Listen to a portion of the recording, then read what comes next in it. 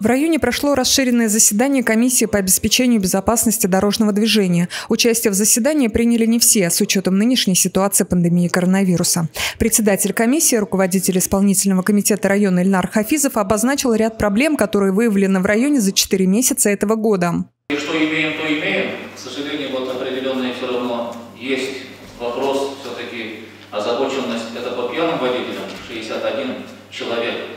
Это за 4 месяца нарушение, значит, правил дорожного движения. Есть определенный вопрос все-таки по пострадавшим, рост идет с прошлым годом, и определенный вопрос, конечно, детский дорожно-транспортный травматизм.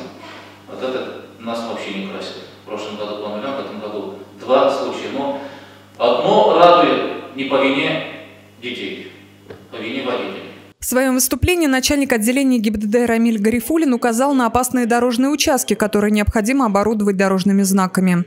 Необорудованным в полной мере остается перекресток улицы Октябрьская Гагарина, на котором отсутствует искусственная неровность и дорожный знак «Главная дорога» со стороны улицы Тукая. На перекрестке улицы ставлена автозаводская проспект Победы уже долгое время неисправно работает светофор. Известно, что в жилых зонах запрещено сквозное движение, однако возле домов 102, 104, 106, 108, 110 по проспекту Победы Победы, они имеются. Поэтому данные участки не могут являться жилыми зонами, и выезды из них на проспект Победы должны быть оборудованы дорожными знаками «Уступи дорогу» и «Главная дорога», а пешеходная зона – знаками «Пешеходная зона».